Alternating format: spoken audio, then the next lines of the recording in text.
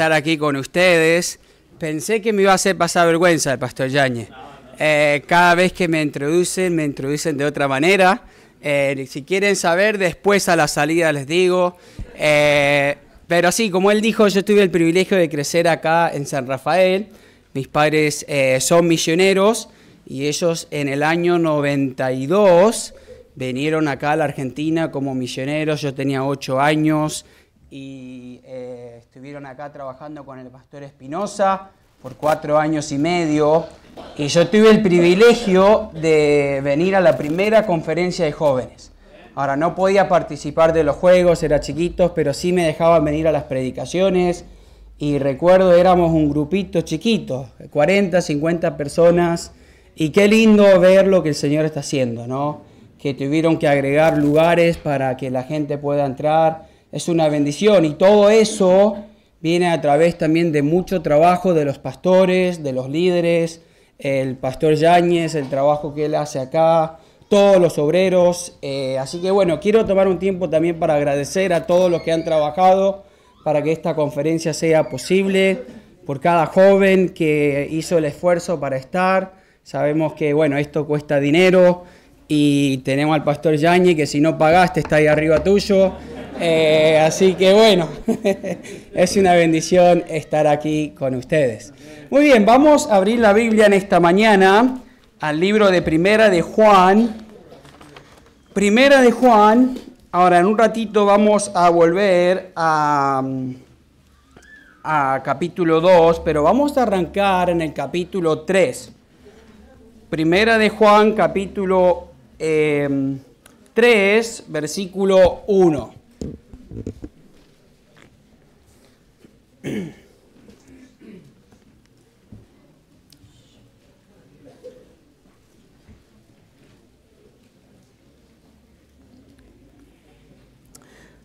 Muy bien, ¿lo tienen? Primera de Juan. Primera de Juan, capítulo 3, 1, dice lo siguiente. Mirad cuál amor nos ha dado, ¿quién? El Padre, para que seamos llamados hijos de Dios. Por esto el mundo no nos conoce, porque no le conoció a Él.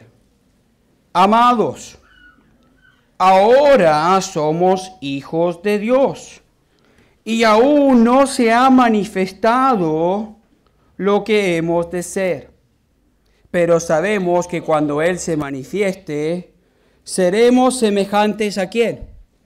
A Él porque lo veremos tal como Él es. Versículo 3, y todo aquel que tiene esta esperanza en Él, se purifica a quién? A sí mismo, así como Él es puro. Vamos a Señor una palabra de oración. Padre, gracias por una mañana más de vida. Gracias por los hermosos especiales que hemos escuchado, por el privilegio de alabar tu nombre. Y Señor, ahora de poder abrir tus palabras por unos minutos, escudriñarla, saber qué es lo que tú tienes para nosotros y aplicarla también a nuestra vida. Señor, te pido que me uses, que me dé las palabras justas, necesarias, eh, Señor, y que tú seas el que trabaja en el corazón de los jóvenes, de cada uno en esta mañana. En el precioso nombre de Jesús. Amén. Le he puesto de título al mensaje eh, esto. Lo que seremos debemos ser hoy. Si algún día vamos a ser alguien, eh, vamos a ser personas diferentes. Pero lo que vamos a hacer en el futuro, necesitamos también estar viviendo hoy. Ahora, hay un evento eh, afuera del Mundial, un evento deportivo, que ocurre cada cuatro años. ¿Alguien sabe cuál es? Los, Olimpios, los Olímpicos. Ocurre en el año que viene, 2024, más o menos en esta fecha. Eh, y todos saben que para poder participar en los Olímpicos, uno se tiene que ¿qué? preparar, uno tiene que entrenarse.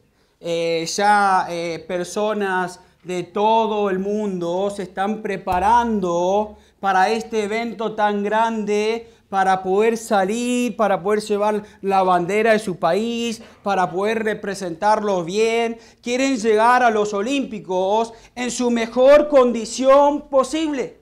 No quieren hacer pasar vergüenza a su país. Ellos quieren representarlos con honor, ellos quieren que lo aplauden, ellos quieren que todo el pueblo hable de cómo eh, jugaron o cómo corrieron o cómo saltaron, cómo nadaron, pero quieren eh, hacerlos orgullosos a su país. Ahora, imagínense por un minuto que yo les digo a ustedes, yo el año que viene voy a participar de los Juegos Olímpicos. Algunos ya me están mirando, uh, pastor, estás loco. Primero, no estás en condiciones. Eh, ¿Qué estás haciendo, pastor? Para prepararte, dime, quiero saber, para no seguir lo que estás haciendo. bueno, y yo te digo, bueno, la, la verdad que yo me estoy preparando así. Me acuesto como a las 3, 4 de la mañana, paso jugando a los videojuegos, me levanto a las 11, 11 y media, cuando me dan las ganas. Cuando me levanto, cruzo acá la avenida, me voy a la panadería Belén, ¿lo conocen? Acá enfrente. Y tiene unas tortitas riquísimas, las chatitas son las mejores.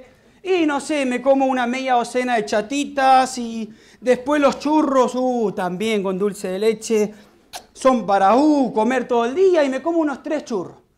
¿En serio, pastor? Sí. Y bueno, llega el, mediodía y un poco más, dos, dos y media, y me voy a McDonald's. ¿Quién le gusta el McDonald's? Bueno, algunos. Es McDonald's. Y esa comida tan saludable que cocinan ahí. Y le digo, sí, dame un triple Big Mac. Ah, y ponele bacon, ponele cheddar. Y después dame también unas papas con cheddar y también bacon. Dame dos de cada uno. Ah, y dame una coca grande y yo creo que ahí estaríamos bien. Me como todo eso. ¡Ah, qué apetito, pastor! Bueno, llega la noche y como me voy a dormir a las 3, 4 de la mañana, tengo que comer light. Voy acá a los carritos y me compro tres choripanes. ¡Oh! ¡Qué dieta! Y yo hago eso de aquí hasta que lleguen los Olímpicos. Ahora, ¿quién piensa que yo voy a estar preparado para los Juegos Olímpicos? No. Yo no voy a estar ni preparado ni voy a estar, voy a estar en el hospital, enfermo. No voy a estar preparado para los Juegos Olímpicos. Entonces que yo les diga que estoy preparando no significa que me estoy preparando. Simplemente porque yo les digo una cosa, no significa que lo estoy haciendo. La evidencia es que lo que yo diga sea evidente en mi manera de vivir. Si yo digo que voy a, ir a los Olímpicos, la evidencia sería que yo me esté controlando, que yo estaría haciendo ejercicio. y te digo que en este ejemplo no hice ejercicio hasta la primaria. O sea, no vengo haciendo ejercicio. Entonces usted dice, pastor, algo está mal porque se está contradiciendo en tu manera de vivir. ¿Me están siguiendo? Bueno, eso es lo que está pasando acá. Habían cristianos que estaban profesando ser hijos de Dios. Sí, yo amo al Señor. El domingo cantan al Señor. en la actividad de jóvenes están ahí, pero hay algo que no anda bien porque su vida contradice lo que dicen en la iglesia. Lo que dicen de ser hijos de Dios, cristianos. Ahora miremos el capítulo 2, versículo 15, que ya venimos eh, lo, citamos hace un poquito. Él dice acá, no améis qué? Al mundo. Está hablando a los cristianos.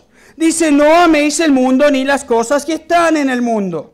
Si alguno ama al mundo, el amor del Padre no está en él. Porque todo lo que hay en el mundo, y da una lista, los deseos de la carne, eh, los deseos de los ojos, la vanagloria de la vida, no provienen de quién? Del Padre. Ahora, esto no es tan complicado. Los eh, deseos de la carne, los deseos de los ojos, la vanagloria del mundo, eso no es algo que viene del Padre. Pero tengo que decirte, estamos viviendo en el mundo y no se puede evitar. Y el enemigo está haciendo todo lo posible para que tu corazón esté entregado a las cosas del mundo. Él no quiere que vos estés entregado al Señor. Entonces Juan le está animando, le está diciendo, miren hermanos, no amen a las cosas de este mundo. Y en el versículo 17, eh, él dice, el mundo pasa. Y sus deseos. Todas estas cosas van a pasar. Son por un tiempo nomás. Pero el que hace la voluntad del quién? De Dios, permanece para siempre. Ahora, eh, no puede ser más claro. Y luego Él les da como una motivación para no irse al mundo. Versículo 18. Hijitos, hijitos, cristianos. Ya es que los últimos tiempos. Y al final dice, bueno, lo vamos a leer todo. Y según vosotros oíste que el anticristo viene, Así ahora han surgido muchos anticristos, por esto conocemos que es los últimos tiempos. Eh, sabemos que son los últimos tiempos, hermanos, porque han surgido muchos anticristos. Eh, sabemos que un día va a haber un anticristo, pero ahora hay muchos anticristos. Hay muchos que se oponen a las verdades de Dios, que están enseñando cosas en contra de lo que la palabra de Dios dice. Entonces, por eso, hermanos, sabemos que estamos en los últimos tiempos. Entonces, ahora es el tiempo para vivir para el Señor, no para vivir para el mundo, no para vivir según tus deseos carnales, porque ya estamos en los últimos tiempos y eso significa que el Señor puede venir hoy. Y luego da una lista de falsas enseñanzas que estaban enseñando y les anima en el versículo 28. Y ahora, hijitos, permaneced en quién? En Él. Hijitos, permaneced en Él, permanecer en Dios, permanecer en Él, porque vale la pena. Para que cuando Él se manifiesta, cuando Él venga, tengamos confianza. Para que en su venida no nos alejemos de Él avergonzados. Cuando Él venga no tengamos que tener vergüenza mira cómo está mi vida. Mira en el lío en la cual estoy. Mira cómo estoy viviendo. Estoy viviendo según los deseos de la carne, según los deseos de los ojos, de la vanagloria del mundo. E, esto no es posible. Estoy dejando ser influenciado por falsas enseñanzas, por anticristos que están diciendo, Cristo no le importa cómo vivís tu vida. Total, si vas a la iglesia el domingo, e, está bien. Después podés vivir como querés, podés tener las amistades que querés, podés escuchar la música que querés, podés mirar lo que querés en tu celular. Ah, eh, y nos están enseñando eso. No es tan importante la vestimenta. Total, Dios no mira cómo nos vestimos, Él mira el corazón. Y te lo dicen con una sonrisa. Perdón, Dios es un Dios santo. Y Él sí le interesa cómo usted se viste. Y Él sí le interesa lo que usted anda escuchando. Y Él sí le interesa lo que usted anda mirando el celular. Y Él sí le interesa las palabras que usted anda diciendo en los dormitorios. Las palabras que usted dice en la cancha de fútbol. Con quienes se anda juntando. Dios le interesa. Y quiero decirle que uno de mis temores es que hay muchos que dicen, yo amo a Dios, pero cuando miramos su conducta, no es que yo ando juzgando. Ay, pastor, la Biblia dice que no debes juzgar. Yo no estoy juzgando, pero la evidencia es que algo no está bien. Porque decís ser hijo de Dios, pero no lo demuestras. Entonces, bueno, Juan les va a dar a decir algunas cositas como para animarlos a seguir, permanecer en él. Miren versículo 1. Ahora, ¿cuál es el objetivo final del Padre para cada uno de sus hijos? ¿Alguien sabe? Vean de la mano. ¿Cuál es el objetivo final del Padre para sus hijos? Para que seamos semejantes a Él. Dios quiere que nosotros seamos semejantes a Él, que seamos como Él. Entonces deberíamos preguntar, ¿qué estoy haciendo para ser como Él es? ¿Cómo me estoy preparando en mi vida diaria para ser más como Cristo? ¿Qué hábitos estoy teniendo eh, para poder lograr a cumplir el objetivo final del Padre para poder ser más como Él? Bueno, Él dice ahora, versículo 3, 1, perdón, mirad cuál amor nos ha dado quién? El Padre. Primero Juan dice, yo quiero que ustedes miren el amor que el Padre les ha dado. Mirar, dice, significa básicamente esto.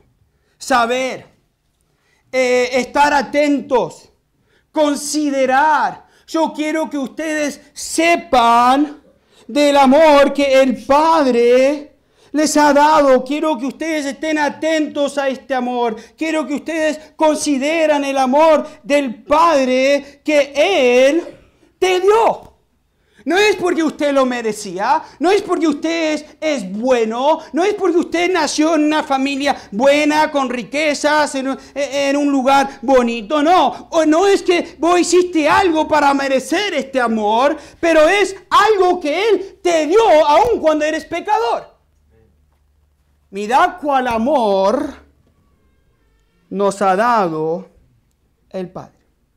Este amor de la cual está hablando acá es un amor que permanece. Un amor que no se puede quitar, que no se puede sacar. Eh, vamos rápido, no pierden su lugar, pero a Romanos 8:35.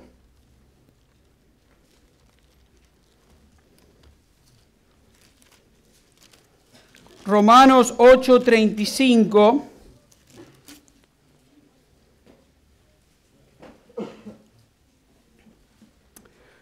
dice, ¿quién nos separará del amor de quién?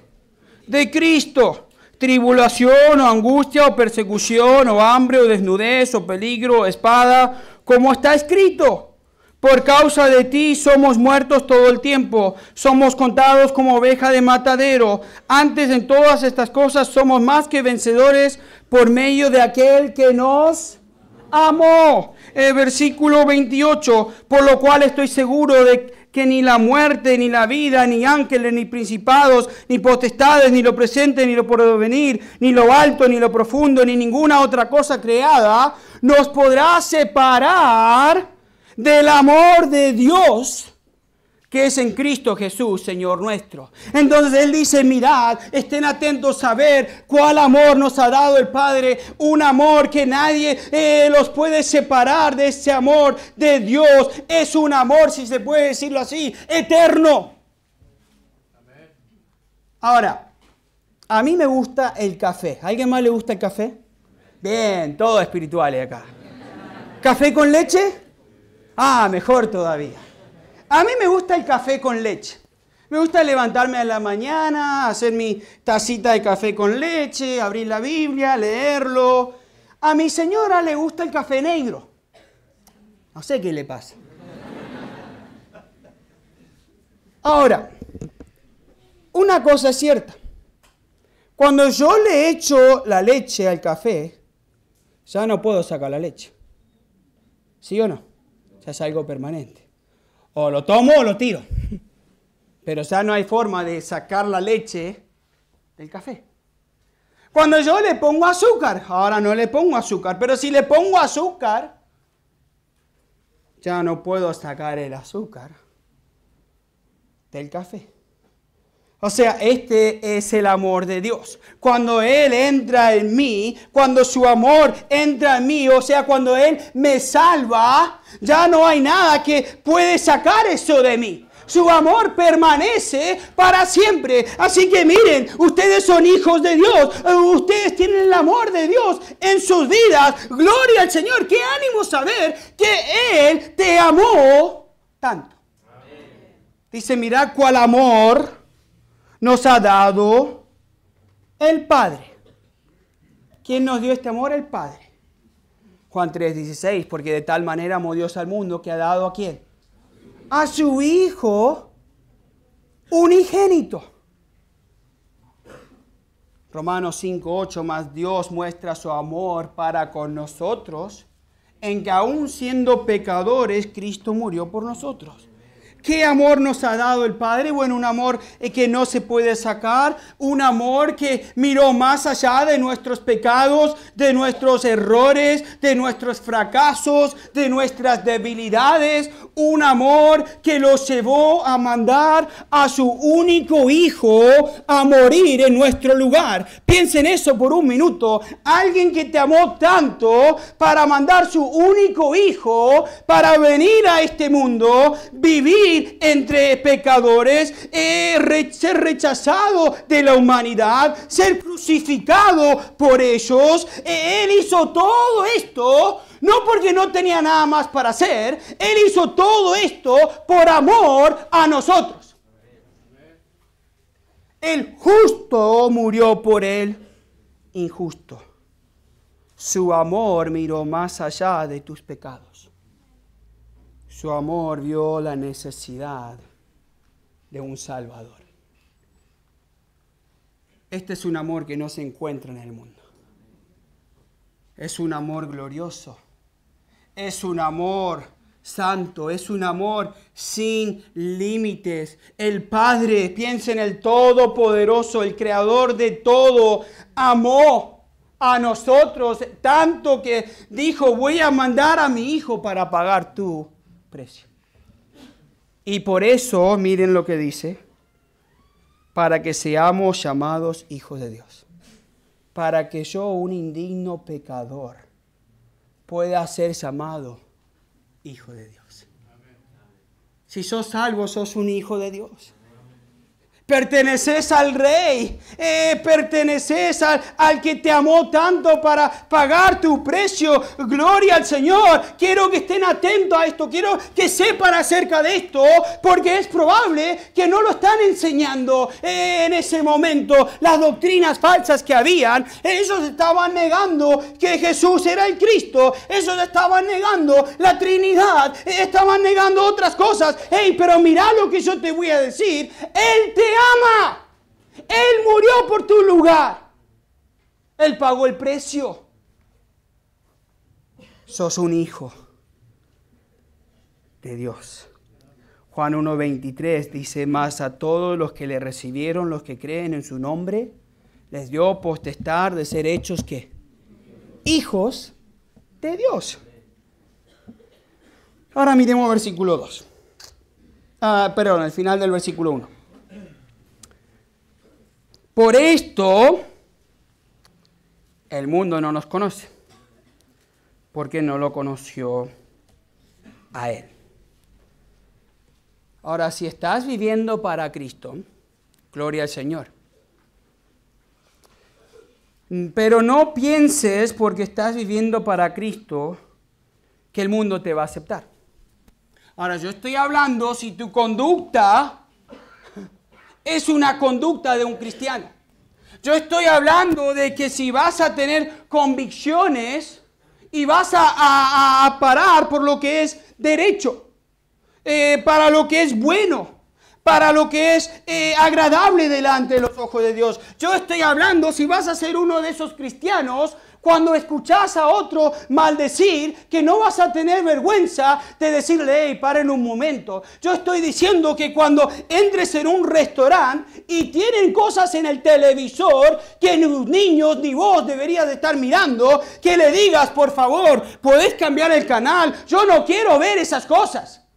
Yo estoy hablando en tu colegio cuando están hablando de perversidades y de chistes malos, que tengas convicciones y que digas, mira, acá no hablan de eso enfrente de mí. ¿Pueden apagar esta música, por favor? No que vos vayas y que digas, wow, ese grupo me encanta. ¡Vamos! ¡Uh! a ver ese chiste. no. Pero si vas a vivir para Cristo, no esperes que el mundo te conozca, que te acepte, que te aplaudan, que te digan buen trabajo. Si vas a defender lo que la palabra de Dios dice acerca del matrimonio, te van a poner de lado. Pero no te sorprendas. Si a mí mismo me rechazaron, a mí no me conocen, es lo normal. Vas y vas a ser diferente, eh, lo normal es que no te van a aceptar. Y ser diferente es bueno porque a mí no me aceptaron. Entonces quiero decirte esto, no tengas miedo de ser diferente. No tengas miedo de tener convicciones. Es una demuestra que realmente estás viviendo para Cristo. No esperes que cuando entres a la escuela que todos te digan, ah, mira, ahí viene eh, fulano, vamos todos. No. ¿Me están siguiendo? Bien. Dice versículo 2. Amados, amados, hablando a los cristianos, ahora somos qué? Hijos de Dios.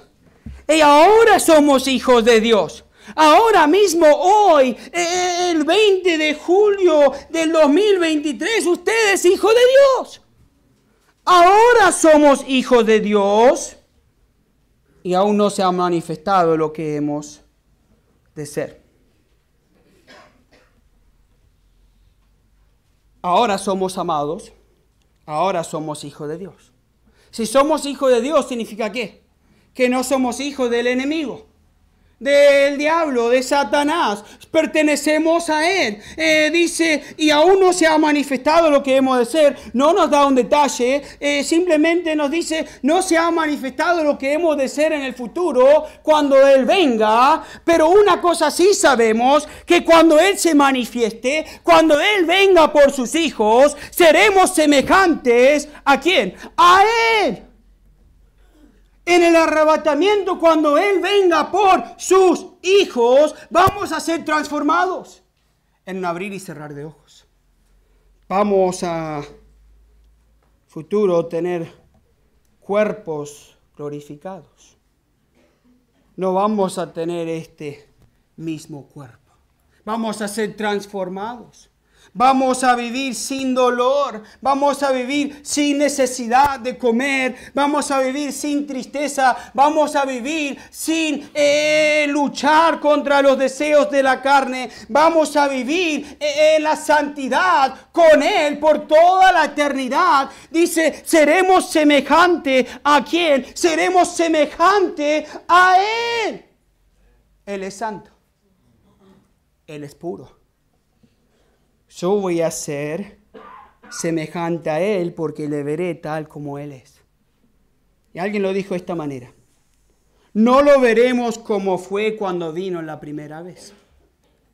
No lo veremos como es ahora por fe, sino que lo vamos a ver como eso que significa realmente, veremos la totalidad de su gloria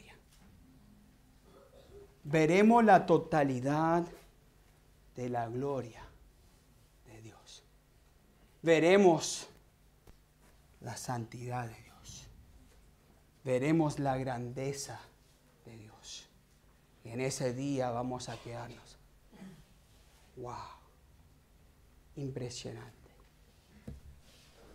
Yo no sabía que era tan glorioso. Qué lindo va a ser ese día cuando lo veremos tal como Él es, en la, la totalidad de su gloria. Ahora la clave está acá en versículo 3. Y todo aquel que tiene esta esperanza en Él, se purifica a sí mismo, así como Él es puro. Través de la Biblia vemos tres tras veces que no debemos transformarnos a qué? A este mundo.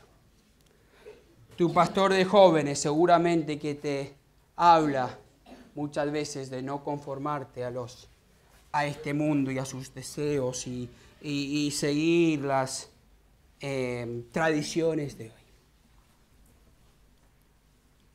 Te están enseñando a permanecer en Cristo, a ser más como Él, ser transformados más a la imagen de Cristo. Ya sabemos que, la, que el objetivo final de Dios para sus hijos es ser más como Él. Y ahora Juan dice, todo aquel que tiene esta esperanza no deja a nadie afuera. Si todo hijo de Dios, no importa tu edad, no importa si sos pastor, no importa si sos director de jóvenes, no importa si sos un joven en tu iglesia, no importa si sos eh, más pequeño, 8 o 10 años, todo aquel, eh, para que quede bien claro, eso significa que yo también, eso significa que usted también, no importa dónde estás en tu vida espiritual, no importa cuánto de la Biblia sabes, no importa qué títulos tenés, no importa cuánto estudiar la palabra de Dios y a cuántos campamentos has ido, no importa eh, a cuántas reuniones por la semana vas, no, no, no, no, no, todo aquel, cada cristiano, cada persona que profiesa ser un hijo de Dios, que tiene esta esperanza. ¿Qué esperanza? Que un día el Señor va a regresar, nos va a sacar de este mundo, nos va a dar un cuerpo glorificado y que lo vamos a ver tal como Él es. O sea, cada hijo de Dios que tiene esta esperanza, hay algo que tiene que hacer. ¿Ay qué? Se purifique a sí mismo. Debes purificarte así como Él es puro. Esta palabra purificar acá no es de purificarte una sola vez. Listo, ya acepté a Cristo, ahora soy puro. Es un acto de todos los días, constante, de estar purificando tu vida, eliminando cosas que están contaminándote, eliminando cosas que te están alejando de donde Dios quiere que estés. Es purificando tu vida para que cada día pueda ser más como Él es, santo nunca vas a llegar como Él es aquí en la tierra, pero la idea es que cada año que vengas a la conferencia uno puede decir, wow, mira cómo ha crecido fulano, el año pasado batallaba con esto, pero gloria al Señor, ese pecado lo ha dejado, que se esté purificando.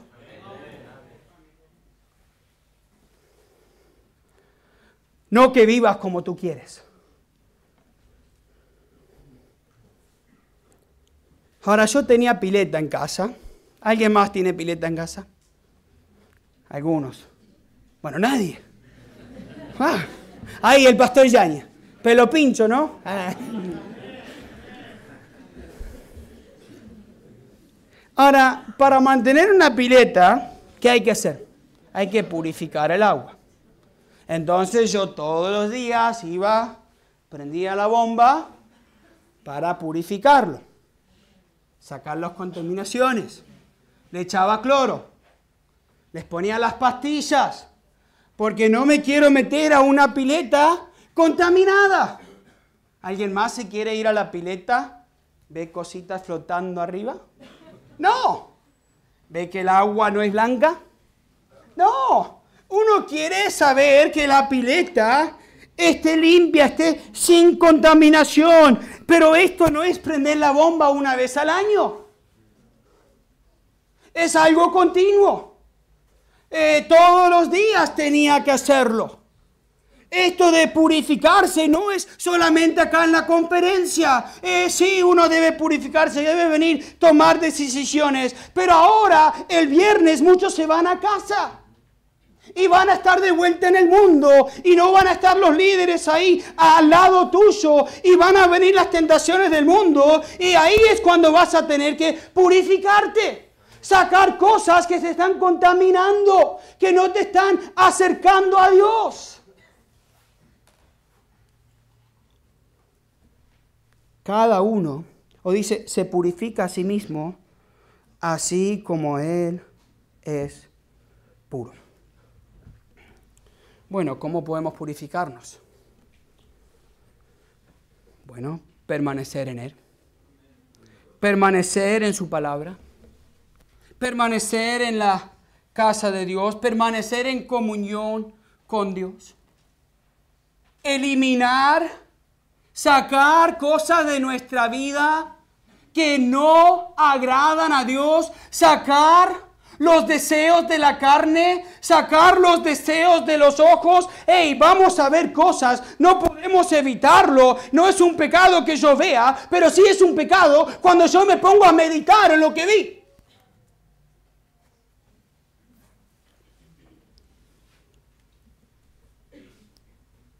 Un día vamos a estar en la presencia de Dios. En su presencia vamos a ser puros y santos.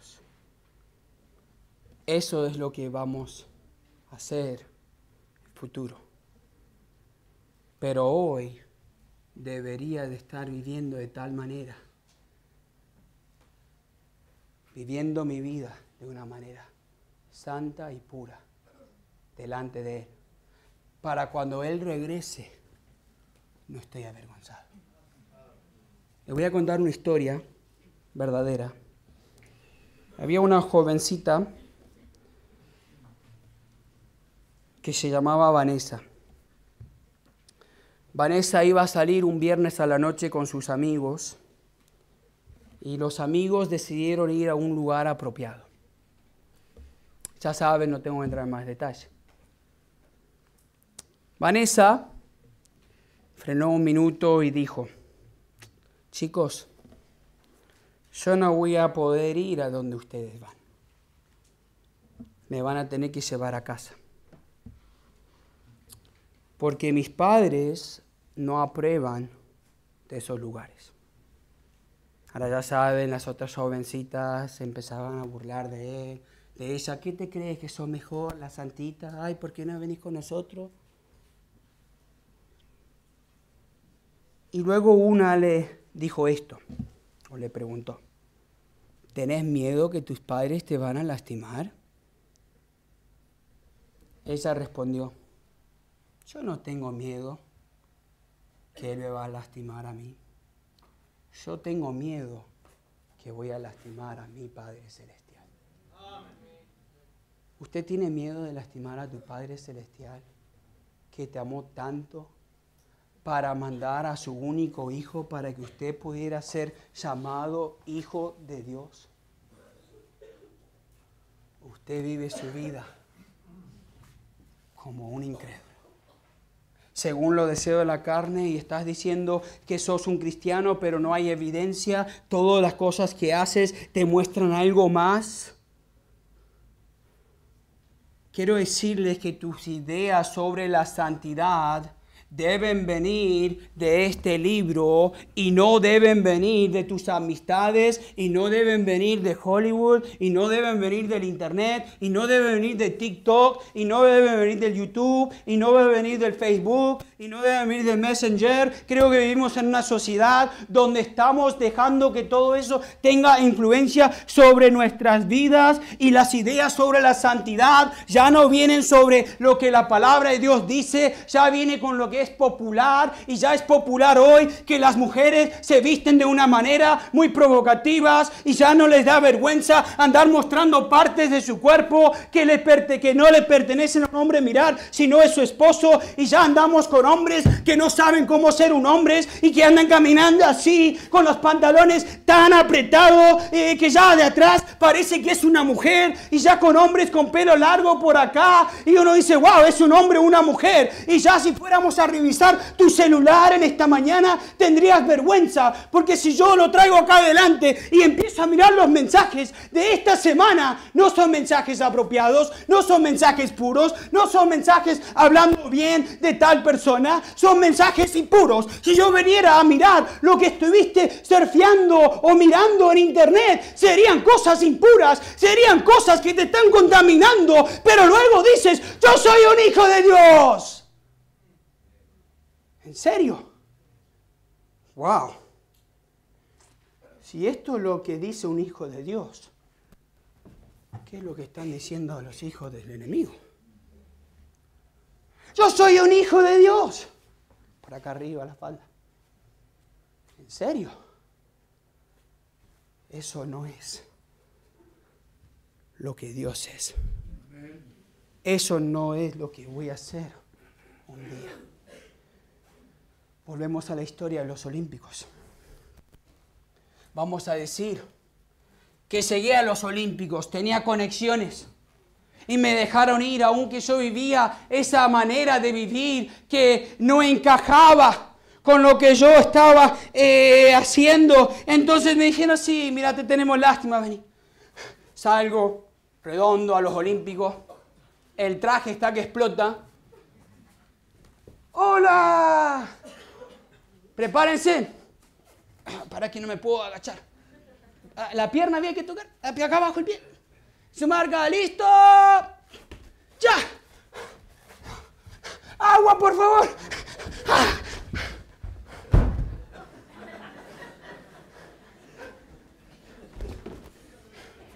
Así voy a llegar a los Olímpicos.